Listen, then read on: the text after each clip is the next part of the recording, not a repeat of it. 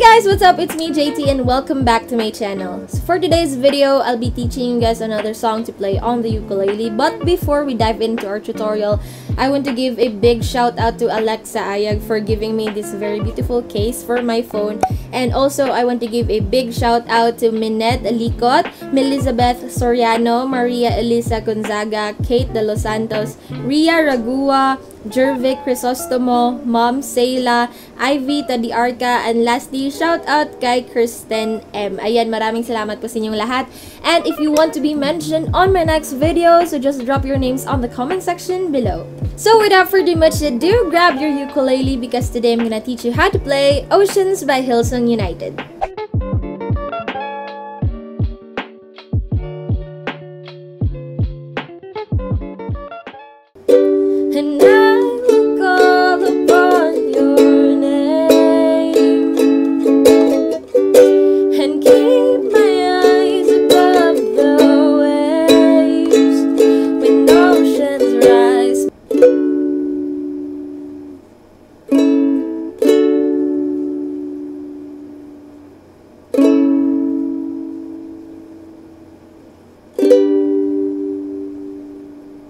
So as you have seen in the demo for the intro, yung chord progression natin dun is B minor 7, A, D, A, and G, and then you just have to strum once per chord.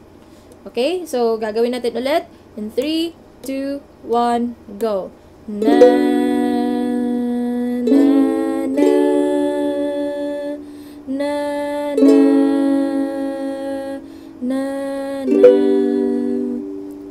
So, ganun lang yung intro natin and then let's move on to the next part of the song.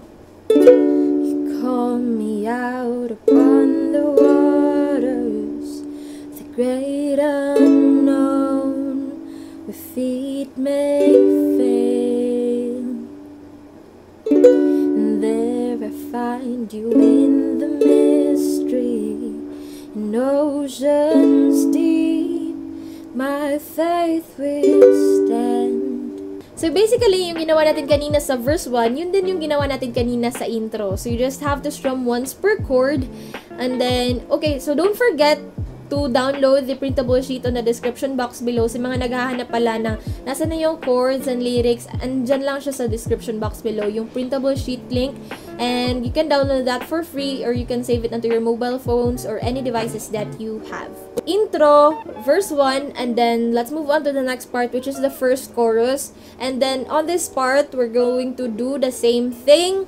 We're going to strum once per chord. Pero yung chord progression natin dito is G, D, A, G, D, A, G, D, A,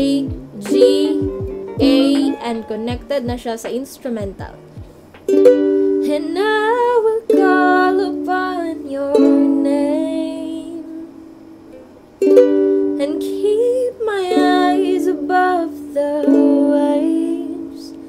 When oceans rise, my soul will rest in your embrace, for I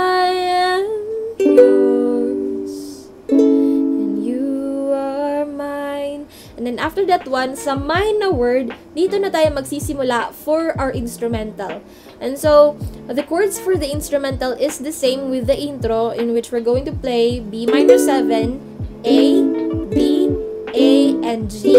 But on this part, we're going to strum na. So this part is where the strumming begins. And then our strumming pattern for that part is down, down, up, up, up, down, up, down, up, down,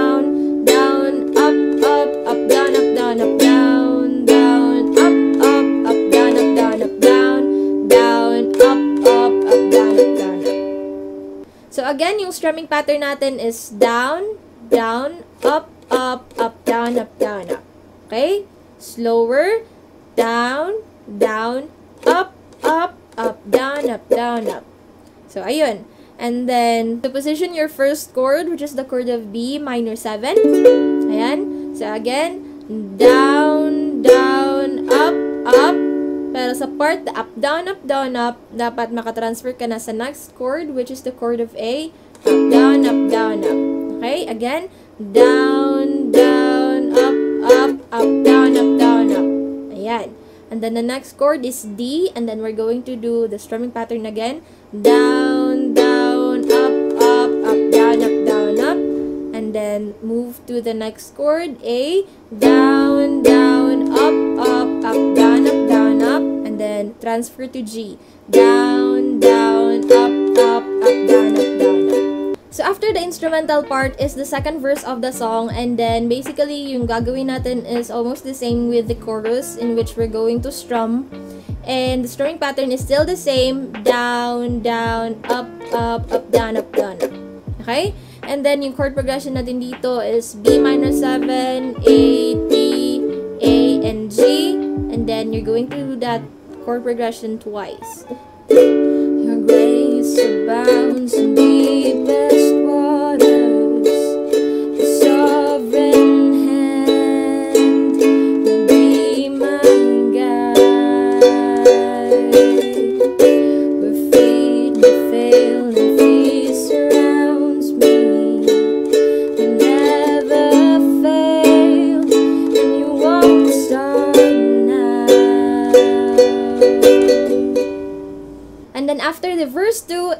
Second chorus and on this part, 'di ba sa first natin na chorus, ini-strum lang natin siya once per chord. But on this part, we're going to do the strumming and the strumming pattern is still the same. Down, down, up, up, up, down, up, down, up. Okay? So, ayun. And then yung chord progression natin for the chorus is G, and then you're going to repeat that three times. And then after that one is G, A, and then connect ka na naman sa instrumental with the same chord progression sa instrumental natin kanina.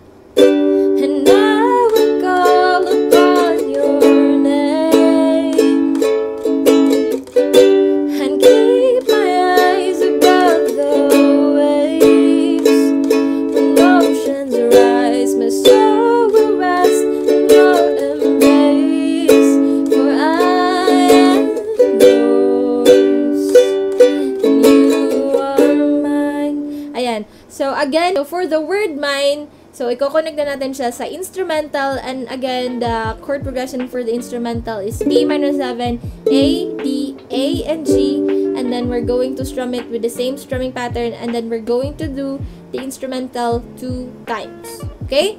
So after the second chorus plus the second instrumental na part, let's move on to the next part of the song which is the bridge. And this is the part na yung Spirit lead me where my trust is without borders. So ayun yung part na yun. And then uh, we have several stanzas here pero paulit-ulit lang siya. And by the way, the chord progression for the bridge is G, D, A, and E minor. And then paulit-ulit lang din itong chord progression na to for the bridge. And then, uh, we have, uh, wait lang. One, two, three. So, first three stanzas ng bridge natin, strum once per chord muna tayo. And then, pagdating sa apat na bridge, ah, apat na bridge, apat, pang-apat na stanza sa bridge, yung Take Me Deeper Than My Feet Could Ever Wander na pangalawang ulit, dito na tayo magsa-strum. And then, the strumming pattern is down, down, up, up, up, down, up, down, up. Still the same. Down, down, up, up, up, down, up, down, up. Okay? So, yun. Kakantahin na lang natin yung bridge in 3, 2, 1, go.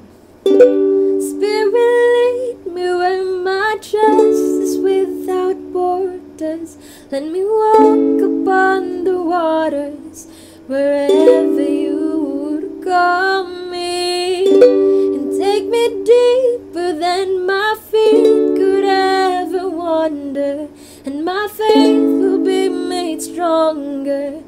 the presence of my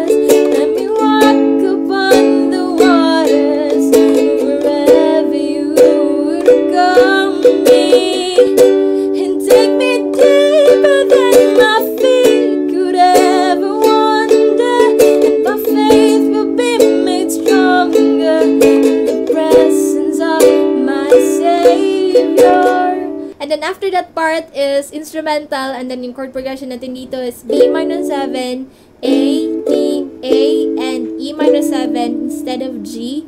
So, kanina, G yung last chord natin. But, dito sa pangatlong instrumental, E minor 7. Okay? And then, we're going to strum it with the same strumming pattern.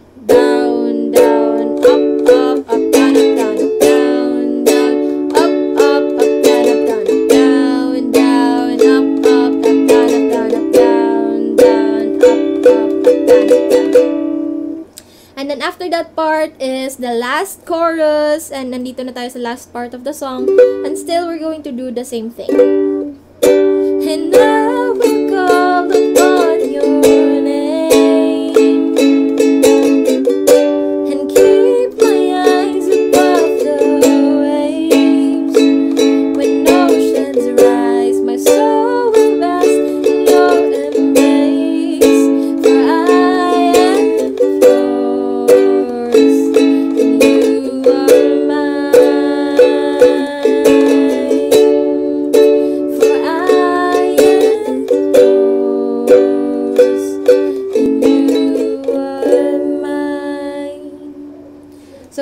last chorus, still the same string pattern, down, down, up, up, up, down, up, down, up. Pero yung pinagkaiba lang dito sa last chorus na to is yung last line, for I am yours and you are mine. You're going to repeat that line two times. For I am yours and you are mine. And then sa second to the last na line, yung first na for I am yours, you are mine. After the B minor 7, we still have an extra chords, two chords, A and D. So G, A, tapos B minor 7, A and B. And then last line, for I am yours and you are mine. Ayan. So just strum once and use your thumb. Ayan lang. Hey guys, so thanks for watching and if you like this video, please give it a big thumbs up and if you're interested to watch my latest ukulele cover or tutorials, you may click the video right here. And if you're interested to watch my latest vlogs, you may click the video right there. And I'll see you guys on my next video and make sure to subscribe.